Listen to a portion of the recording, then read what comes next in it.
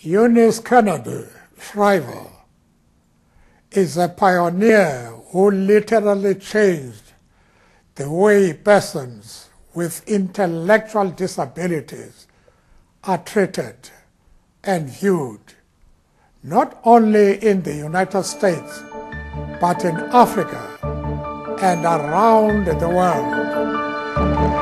My mother has been a key leader in the field of intellectual disabilities. I think she has done more than any other single human being alive.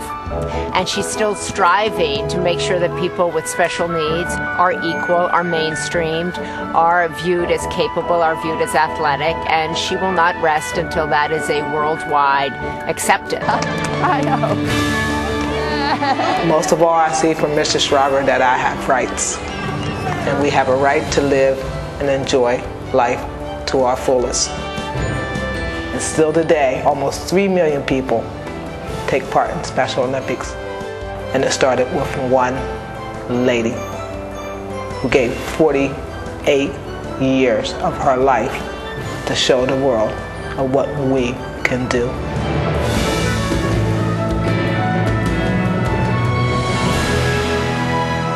I love to be with my special friends, and I like to learn from them. I learn persistence.